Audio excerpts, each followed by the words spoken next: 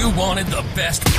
You've got the best podcast, the hottest, hottest podcast in the world. In the world. The Chris Voss Show, the preeminent podcast with guests so smart you may experience serious brain bleed. Get ready, get ready. Strap yourself in. Keep your hands, arms, and legs inside the vehicle at all times, because you're about to go on a monster education roller coaster with your brain. Now, here's your host, Chris Voss. Hi, folks. Chris Voss here from the ChrisVossShow.com, the ChrisVossShow.com. Hey, we're coming here with a, another great podcast. We certainly appreciate you guys tuning in. Thanks for being here to see the video version of this. We have like live versions you can see on YouTube. You get like the first viewing on the YouTube live channel of the podcast as it comes out. And you don't have to wait the 48 hours for us to edit it and put the books in it and make it all pretty and stuff. You can see the raw edit, the real stuff coming across the juice. I don't know what that means. Anyway, guys, go to youtube.com forward slash Chris Voss, hit the bell notification button. Also go to goodreads.com forward slash Chris Voss. You can see everything we're reading over there and reading and reviewing. You can also see the Goodreads giveaway we're doing for my book. You can go to our all groups on Facebook, LinkedIn, Twitter, Instagram, and all those good places. If you're watching the live feed right now, you can send us questions and uh, they're pertinent. We will throw them at the author. Not, we're not going to wing them at them hard. We're just, you know, softball them a little bit. We don't want to we don't want to hurt our authors because that might be bad. We'd probably get some uh, lawyers told me to say that. So we're excited to announce my new book is coming out. It's called Beacons of Leadership: Inspiring Lessons of Success in Business and Innovation. It's going to be coming out on October 5th, 2021, and I'm really excited for you to get a chance to read this book. It's filled with a multitude of my insightful stories, lessons, my life, and experiences in leadership and character. I give you some of the secrets from my CEO entrepreneur entrepreneur toolbox that I use to scale my business success, innovate, and build a multitude of companies. I've been a CEO for, uh, what is it, like uh, 33, 35 years now. We talk about leadership, the importance of leadership, how to become a great leader, and how anyone can become a great leader as well. So you can pre order the book right now wherever fine books are sold. But the best thing to do on getting a pre order deal is to go to beaconsofleadership.com. That's beaconsofleadership.com. On there, you can find several packages you can take advantage of in ordering the book.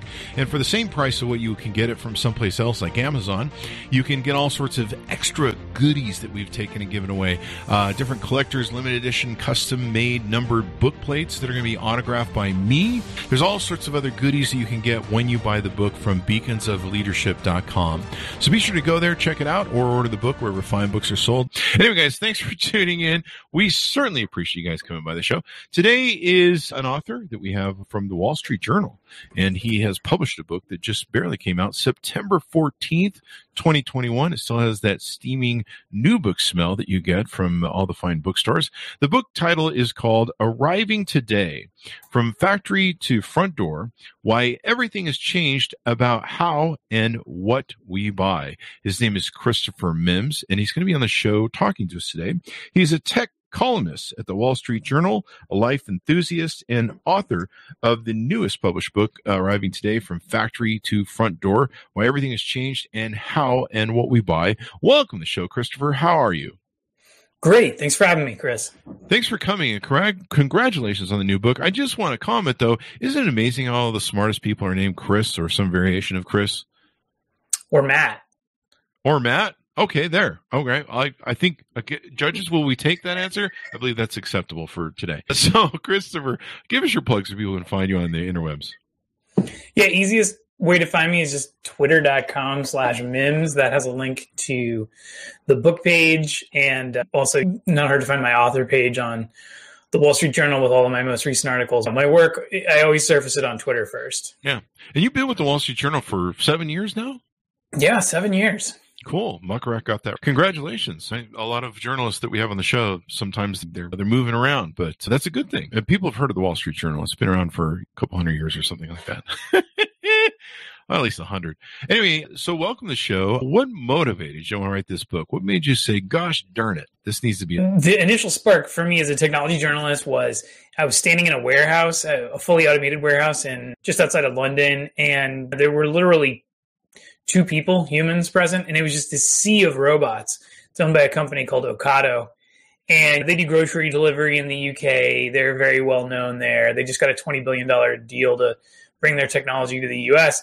And I just thought, this is unbelievable. Like, this is unlike anything I've ever seen. It looks like the Matrix, these robots skating around, grabbing objects and carting them off. And I wanted to know more. And what I discovered as I went was wow, there's this enormous system for getting things from the factory, generally in Asia, all the way to our front door. It has all these different legs. It's really like a planes, trains, and automobiles type situation, except it's ocean going vessels and ports and the biggest cranes you've ever seen. And then long haul trucking and these fully automated warehouses, like the one that I saw in London, now most of which are owned in the US by Amazon. And I just, I really got sucked in and I realized, wow, that sort of childhood question you have of where did this actually come from? Who made this? This is a question we can all answer. We can all feel more connected, I think, to our material world. And that ended up being really gratifying, really rewarding. So I thought, let's keep going. Let's turn this into a book. And you started that before the COVID epidemic? Yes, long before. This was entirely, this is just coincidence that now supply chains are on people's minds because of shortages. I really I was inspired by other writers to I was inspired to just do an explainer. I really wanted to unpack this and make it accessible for readers. And then as I was you know, maybe two thirds of the way through the research of the book, the pandemic hit. And at one point I was standing on the dock uh, of this giant port in Vietnam and news was just trickling out about the pandemic happening in Wuhan. Honestly, I got out of that country just before they locked it down. Wow. It was all coincidence from there on out. And then I ended up doing a bunch of reporting masked with other people masked in the middle of the pandemic. And that really made it visceral and real. And frankly, I think it remains contemporary because a lot of the conditions that I saw persist to this day and frankly aren't going away anytime yeah. soon. Yeah. I mean, we're in chip shortages and everything else. What uh, give us an arcing overview of the book, if you will, or whatever tips you want to touch on, just to tease out to readers. Yeah, so if, if, you'd like an overview of the book, it really is this path from factory to front door. Most of these factories, obviously, they're in Asia. Way more of than I think people realize are in Southeast Asia or South Asia as opposed to China. And they begin their journey on a truck and getting stuffed into the, those ubiquitous shipping containers. And that is its whole own amazing technology, the way that ports are organized, the amount of automation there, the surprising amount of robotics. You get it onto a ship. A ship is basically a giant robot that floats on the ocean. It's mm-hmm. almost entirely automated. That's why they have such tiny crews these days, even though they're these enormous vessels. It gets into the port of LA and Long Beach. Here again, there's a ton of automation.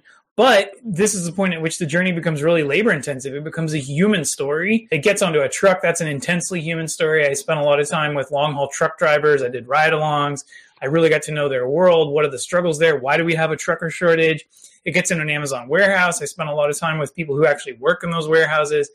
And I tried to give people a balanced view. Why do some people stay with those jobs? And yet we get all these media reports about it being this absolute sweatshop that no person could possibly endure for any length of time. And that's true for some people. From there, it goes through parts of the supply chain that nobody ever sees because they're so highly automated that you there's the odds that you would know somebody who works in those facilities are very low because they're mostly robots. That's the middle mile. Then it gets to a delivery station, it gets onto a truck, and I spent time with this amazing UPS driver in Connecticut, Jenny Rosato, did her route with her. And that is just an amazing thing to experience firsthand because throughout the supply chain, there's really no such thing as an unskilled job. There are a few, maybe at Amazon, where they've de-skilled them so much that they can train you in a day. For the rest of the links in that supply chain, it's really hardworking people who really know what they're doing and have to be very dedicated or they couldn't survive in those extremely physical jobs that are very demanding. And so just bringing so much of the personality of the people who do it into the book but putting it in the context of all of this automation, all of this IT, all of these algorithms that now rule the work lives of you know millions of Americans, all the people who in the old days we would have considered middle class, but now that's challenging because our economy is becoming more and more polarized. There's inequality. What's the experience of everybody who participates in this supply chain? That really ends up becoming the story by the end of the book. And and even interesting, there'll be robotic trucks soon, or I think there's some on the road, isn't there? Whether yeah, so you know, I, I devoted three chapters to my first love, which is technology and AI, and I spent a lot of time really going deep with the companies that are making that happen. I spent a lot of time with uh, Simple, which is one of the uh, big automated trucking companies, along with Aurora and others. And I really got to know how that system works. I spent time in Arizona actually riding along in one of those fully automated trucks. So I've seen it do its thing from launch to going out and coming back. And I think there was only maybe one or two disengagements. That's a moment where the safety driver has to take over. So I've seen that truck make visible on its internal monitors its thinking and how it functions and how it evaluates what's on the road. And I got to really relate what how that those kinds of self-driving systems work. I think we hear a lot about Tesla's self-driving system, but how do you like real industrial grade self-driving systems that are not intended as a science project, but really are intended to to take the driver out from behind the wheel as soon as possible in a context where people are actually trying to make money on it. I also spend time with the smallest of autonomous vehicles, right? Like the Starship Robotics, the six wheel, they look like coolers. They're all over America's college campuses. And it was really incredible to see how that business works, how quickly a technology that seems magical becomes mundane, becomes just the way that you order a drink from Starbucks and boom, it's right outside wherever you're studying or your dorm in 10, 15 minutes. And the only humans involved were the ones who made your drink. I also spent time with a Nuro in Houston. They're doing a car size autonomous delivery vehicle. So I saw that whole range, and it's really interesting to see both how far it's come and how many challenges are yet to be overcome. So, in other words, yeah, I'm always really skeptical when people say these, you know, dro- jobs in delivery and trucking and all the rest are going to go away soon. I'm like, not in the real world. it's going to take a long time.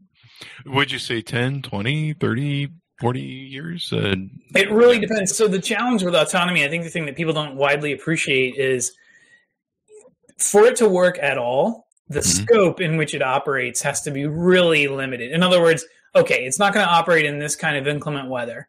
It's not going to operate at night. It's not going to operate outside of this particular geographic area. Mm-hmm. It's not profitable to run it in this other context because the risk reward just doesn't work out because these things are going to fail sometimes. Even if they're safer than humans, they're going to fail sometimes. So you could see it on particular routes. I don't know, 10, 15 years. It depends on how the regulations shake out, really, more than anything. But how long until you're going to see it outside your house? That's anybody's guess. It's dependent on so many different things. So let me ask you, is this book really important for a lot of people to read and understand? Because there seems to be a lot of fantasy people, especially in the political world, who believe that stuff just magically shows up. And there's this narrative of uh, that certain political parties have of we need to bring jobs back here. These things in China where they have Foxconn and stuff that needs to be brought here. Is that even is that just fantasy to think that we can somehow replace the whole system of what you've tracked from you know Southeast or eh, South Asia to? It, it would take us probably I don't know what fifty years to rebuild something like that here, even if it were uh, financially feasible.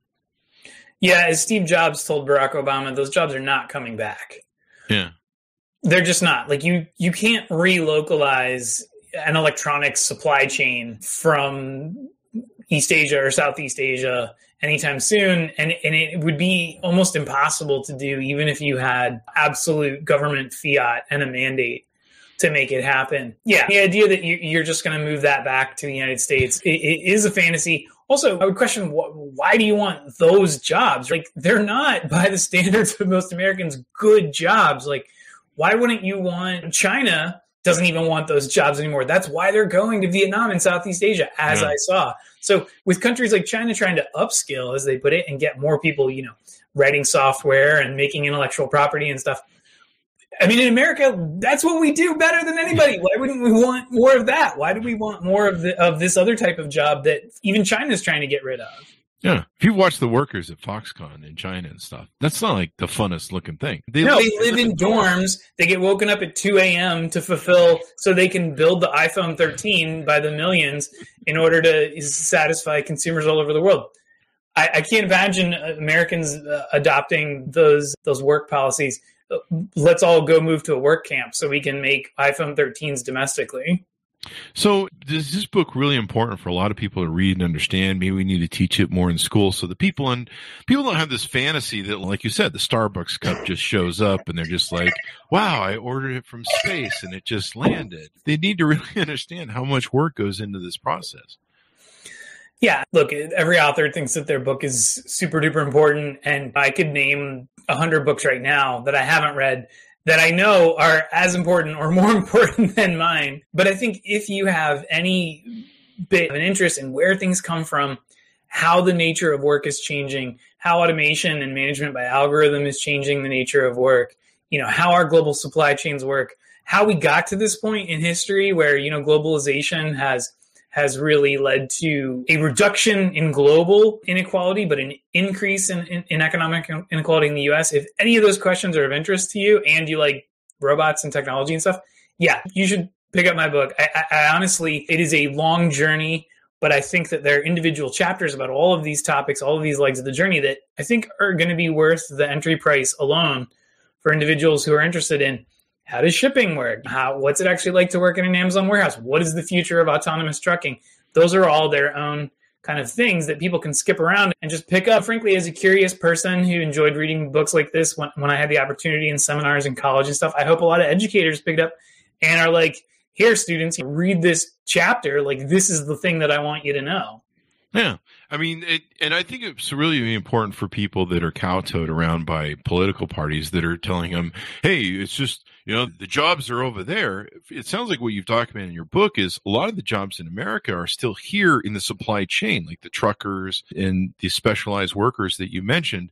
So there's still, it's not like the job just disappeared and there's no connection to America anymore. And I don't know, the stuff flies in from a stork from China and gets dropped into Walmart. And there's always, there's, I always love the people who are like, yeah, we need to quit having China build our stuff. Meanwhile, I got to go buy some stuff at Walmart and I want the cheapest prices Walmart can deliver and you're like, wait, you you tell the market, you demand the market what you want, and it delivers, and then you want something else politically.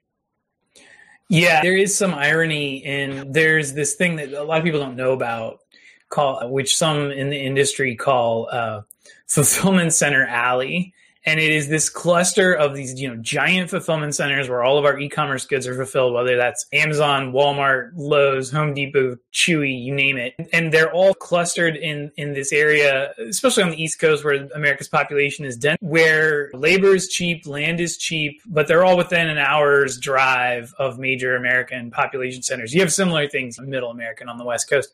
And there are a lot of people who work in those fulfillment centers who in another era would have been working in manufacturing jobs in the Rust Belt. So there has been this kind of direct transfer from America used to make stuff. Now America has to distribute a lot of stuff. And that's where a lot of our middle class jobs have gone. The ones that haven't gone to the service sector or to hospitality. I think on balance, it's probably good that these jobs are moving into the supply chain because at least they pay more than minimum wage hospitality and service sector and fast food jobs there's a lot of screaming and crying about my local checkers can't hire people. And it's your local checkers really isn't paying people very well, nor is it treating them very well with its shift scheduling algorithms.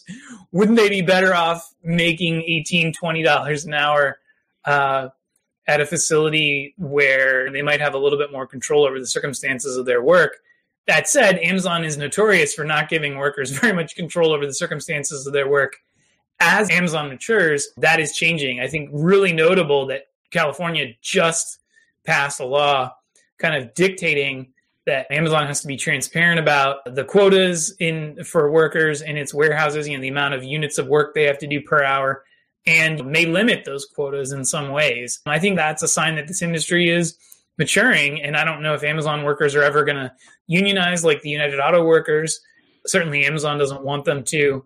But it does mean that these millions and millions of supply chain jobs that didn't exist before the rise of e commerce, because we all went to the store, all that labor of going to the store and buying stuff ourselves, like that has to be done by somebody else now if it's going to get delivered to your house. That's mm-hmm. millions of new jobs. Yeah. I hear they're going to put covers on the pee buckets the Amazon employees use on the floor. I'm just kidding. no. So you did go find what it's like to be an Amazon employee. Tell us what that is so we maybe we can break up some of those jokes and misnomers that I have. yeah. So it, the experience varies a lot. Like it's like any big corporation. It really depends on your immediate managers. That said, there is a there is a remarkable consistency because so much of it is what people call management by algorithm. And so literally the algorithm is your boss. Like you, the rate at which you're pulling stuff off shelves, which is called picking, or putting it on shelves, which is called stowing, or putting it in a box, which is going to go out the door, which is called packing. That rate is dictated by the algorithm floats according to an average of what everybody in that facility is doing. But Amazon has made no bones about it. They say we're proud of the fact that we're a, a tough place to work. Like we're like Marines. We'll train you in a day. Let's see how long you last. I think that they are dialing that back a bit because, frankly, they just need so many warm bodies that they can't afford to just churn through people. They can't afford the rate of turnover that they had before. So that's one reason that you see them raising wages, making promises to change working conditions. They just need to make it a place where more people can work, not just the, the industrial athlete, the young person or the older person who you know is really physically fit who can keep up with that pace and doesn't mind the monotony and frankly the isolation. If you work in one of these facilities it's a 10 hour day. You know you get a half hour break for lunch. You get two 15 minute breaks. If you're taking any other breaks longer than a minute or two that's time off task. You get dinged for that. If that happens often enough you can lose your job meanwhile in most facilities or, or almost all of them you're not allowed to listen to music even. You, there's nobody standing close enough to you for you to talk to. So it's 10 hours a day of really being isolated in this kind of cubby where it's just you and the machine and you're doing the same task over and over again hundreds of times an hour which is also why people get repetitive stress injuries. And i can barely sit at my desk for eight hours a day because i'm older than 40 uh, so these jobs are definitely not for me without feeling soreness in my back Imagine if that's your entire job. Amazon is starting to recognize that this is not physically sustainable for most people and that just burning people out and then sending them on their merry way is not the best way to determine who, who gets to work there and who doesn't. Wait to get 50 in your bladder. is not going to work with the Amazon system. There's lots of pee breaks when you break 50. It's uh, true. And imagine that you, you use that break and 10 minutes of that break gets used just walking to and from the bathroom. Yeah, it wasn't much yeah. of a break. I would just install. Never mind. I would be. A, I would be. I, I just almost admitted being more maniacal of a boss. I'm like, I would just install little toilets there right at the station, but I'm going to hell clearly. One thing I'm seeing up here, especially in Utah, I've heard there's some pressures in Vegas. I don't know other parts of the country very well. I'm not getting feedback from friends, but here in here in Utah, we're having severe problems with employee shortages, and there's a huge competition for pay structures, like you mentioned earlier. It's we're usually seeing it on the 24 hour businesses. Like we had one hotel, which is a major hotel here they just had to tell people, hey man, you're just gonna have to fend for yourself. We'll change your room about every three days if you're here. And uh, yeah, there's a thing for the soaps. And like at one point, they they had an event here, like an event at the hotel, a convention, if you will. They didn't have like service. They they couldn't do the morning stuff. Uh, a lot of our we had a 7-Eleven closed in my town because they they couldn't keep that open 24/7. Uh, a lot of the 24/7 gas stations, you go and like you know get a coke in the middle of the night or something, and uh, those have uh, cut their hours down. We're still seeing the COVID hours here in my city, and everywhere you go, there's like these signs for we we pay this, come on in, and it, it's kind of funny to watch because it's this guy's 13, this guy's 14. You're like, yeah, you, you guys aren't getting it, are you? Somebody else has got 15.6. Are these issues that we're having in our supply chain right now? Is that a supply chain? Thing? It's related in that uh, a lot of supply chain disruptions are due to shortages of workers to do these jobs. What you're describing, uh, it's universal. I see it everywhere. That is the that's really visible because it's in the service sector. But now keep in mind that you're seeing those kinds of labor shortages in the invisible supporting infrastructure, which I write about. Mm-hmm. For example, just to go deep for a second on trucking, because I think it's a fascinating example. Trucking is a highly fragmented industry. It's lots of small trucking companies. There are a few big carriers like Werner and Swift, but at the beginning of the pandemic, the demand for goods transported by truck just crashed because the stores were closing and everything was shifting. Very soon after, of course, we started to have shortages. Then demand exploded. In the meantime, lots of those small trucking companies shut down. In the first year of the pandemic, the number of truck drivers in America actually shrank. But really? then demand came roaring back higher than it's ever been. So now you have many fewer truck drivers that are supposed to carry significantly more freight. And you have these huge imbalances. Like so much of the freight is coming from the West Coast because it goes through the ports on the West Coast because it's goods coming from uh, Asia. But mm-hmm. keep in mind that on the East Coast, people aren't making a ton of goods that people want to stuff into trucks and ship back to the West. So you have these crazy imbalances. 10% of all loads that shippers want to ship in a truck from the West Coast right now are just getting refused by truckers because they're like, nope, I'm on the wrong coast. This isn't on my route. And it, so it shows that there is a real shortage there of people to move these goods around. And that causes a lot of these shortages. So, absolutely, the labor crunch is in every field you can possibly imagine. And it definitely affects our ability to get things. And it, it depends on the segment. This is also why Amazon has had to hire so many new people. They're, they just announced 125,000 more people. That's on top Wow. of the, the hundreds of thousands they added throughout the pandemic. And they grew their permanent labor force by 30, between 30 and 50% over the course of the pandemic. And so much of that isn't even visible in their actual employment numbers because the, all those drivers in those trucks with the Amazon on the side, they don't technically work for Amazon. They hmm. work for small delivery companies that work for Amazon. So they are just they're hiring like crazy because they just they don't have enough capacity to make all of our deliveries. And everybody I talk to now is I had a package get lost or got delivered really late. That's even when it's available. So Yeah. step one is can I get it? Step two is can I get it to me? And in a lot of ways, I, I think that's only going to get worse over the coming months. Yeah, and I like I mentioned in the green room, my book, I keep getting all these messages from everybody, actually, just not even my book, but from the publishers where they're like, it's going to take longer for shipping. Oh, and the prices are going up too, which you're like, wait, what? And they're just supply chains or issues and stuff like that. Would we have been, let me see what I wrote here. We have been worse without these, the robotic systems and the system being so automated during COVID. If it hadn't been automated, we've really been screwed if it would have been maybe 20 years ago or 10 years ago where it was more people oriented. That's a great question. Uh, many more of us would have gone to the store. I think one of the challenges here is that you automate a system and you don't use this is all of history, right? People don't use less of something when we automate it. They use more because it gets cheaper. And so paradoxically, all of this convenience, all of this automation made e-commerce easier than ever. It made it easier for people to stay at home, to not go to the store. So we just use that more and more. People got in the habit of ordering. People who'd never ordered groceries before. I think the number of people who regularly order groceries online went up 30% over the course of the pandemic. And that is a, a sector that just hadn't budged for years. No one can figure out how to get more people to stop going to grocery stores and start ordering via Instacart and Amazon and all the rest. And in a funny way, the pandemic made all of this worse in two ways. Obviously, it interrupted supply chains, but it also just shifted. It shifted up by 10 years adoption of e commerce and delivery of every kind. And the biggest problem in supply chains these days is us. The biggest problem is that there is record demand month after month and it doesn't go away. Yeah. I remember when the thing started and delivery services really popped, and I'm like, wow, this is interesting, a huge shift.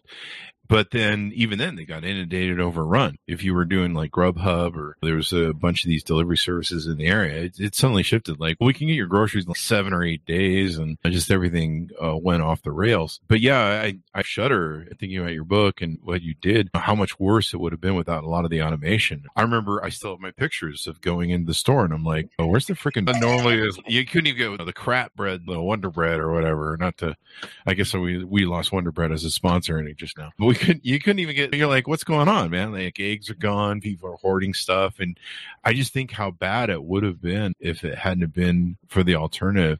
But I think it's important that people understand these things and and what comes to market. I think about six months ago, sometime in the last six months ago, we had a, a trucking company that they're a huge trucking trucking trucking company where they use the Wi-Fi systems or the uh, not Wi-Fi, the satellite GPS systems on trucks.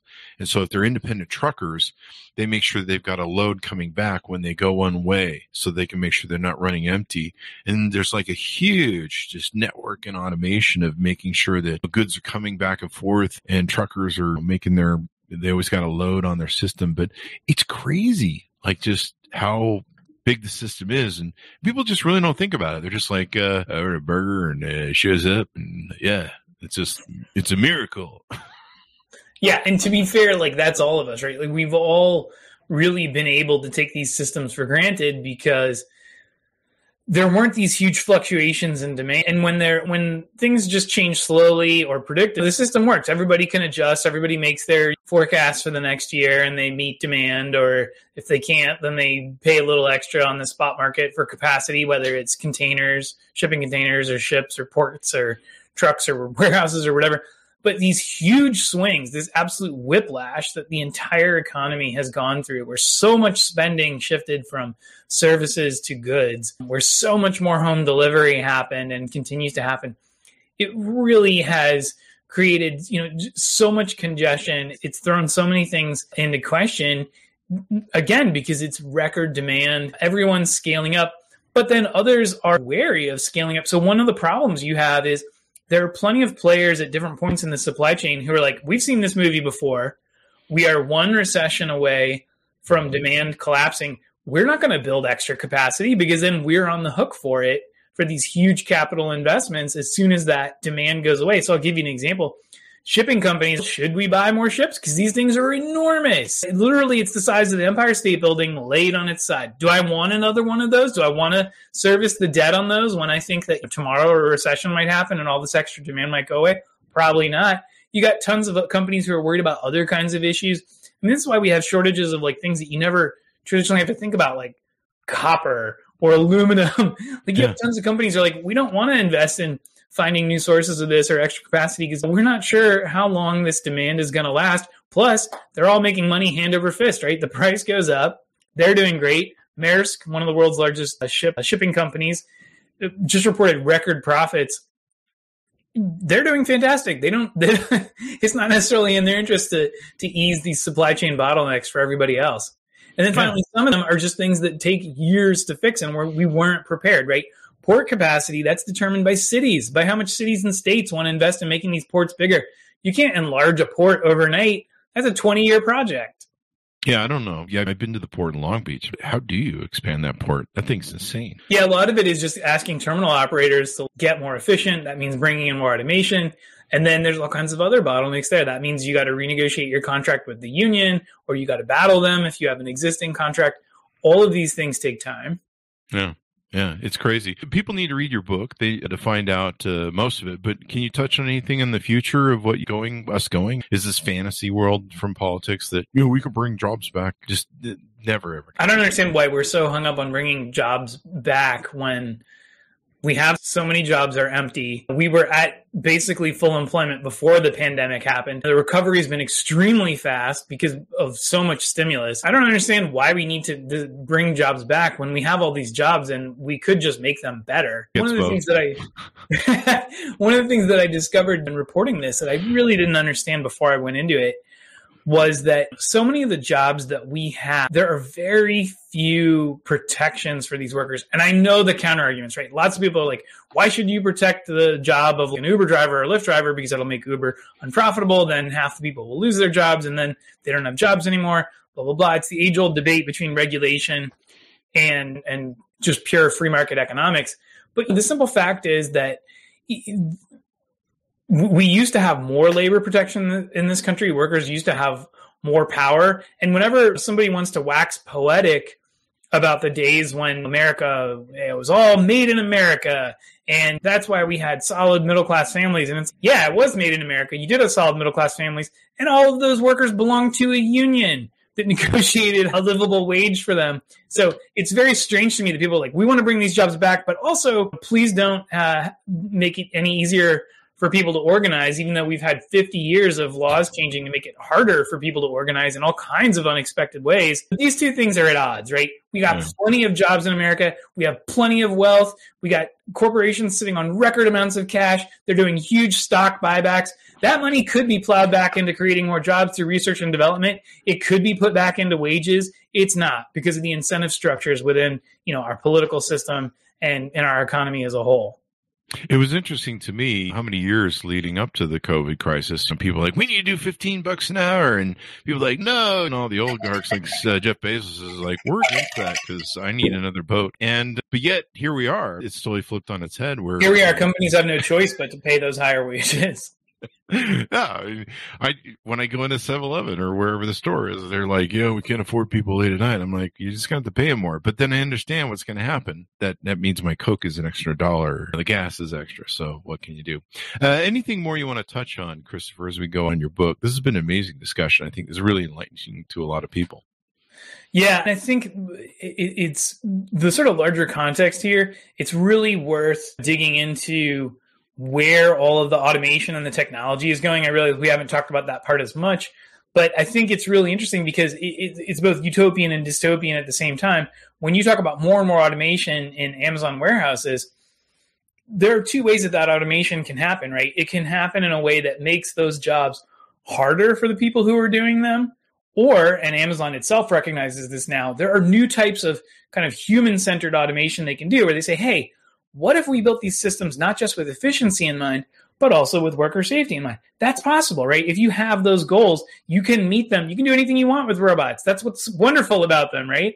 If you want to enhance physical labor with robotics, you can do that. It doesn't just have to be about this kind of relentless drive for efficiency at all costs, which frankly, in the long run, doesn't necessarily help these companies because, like I said, they ha- end up with such high turnover. Wouldn't it be better if they spent a little bit more time and we're a little bit more conscientious about making this automation work with humans so that those humans can stick around, right? So you can establish a long term labor force so that maybe they can start to build some expertise. I think you see that throughout supply chains. I think you're going to see that in the nature of work. So much of my book was about the way that management by algorithm you know, working alongside automation is changing the nature of all jobs. And You and I don't think about it, but even if you're a white collar worker, you are working with automation. It might be in your computer, it might be in the cloud, it might be an IT thing that has to do with the way that you process and exchange information and work with others and collaborate. But there's automation there. You're working alongside machines, even if those machines don't have a physical body. So I think it's worth digging into, as I do, the history of where this came from because a lot of what's going on now is all too familiar from the old days of the beginning of automation and mass manufacturing and thinking you know about how do we make work you know better for everyone in the future. It's not just a pipe dream.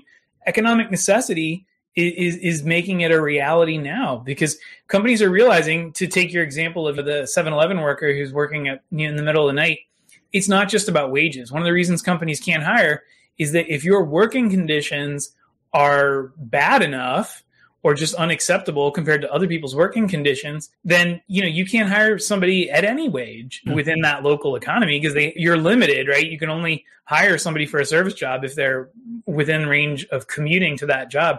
So there too, there are tons of opportunities for companies to make these jobs more sustainable. I think they just haven't thought about it until now because they weren't forced to. Occasionally, they would get shamed by a report in the Wall Street Journal or the New York Times about their their a, a major offender is the algorithms that schedule people's shifts. There were a few years ago that Starbucks got really shamed by this New York Times expose about workers being forced to close the store and then come back six hours later to reopen it because this scheduling algorithm, not a human being, had decided, oh, this is the most efficient way to schedule these workers for this store. It's literally inhuman. Like those kinds of algorithms, they still exist in many other jobs. And it's just one example of how work has been made unnecessarily difficult for people because of unaccountable bureaucracy is really what management by algorithm is at the end of the day.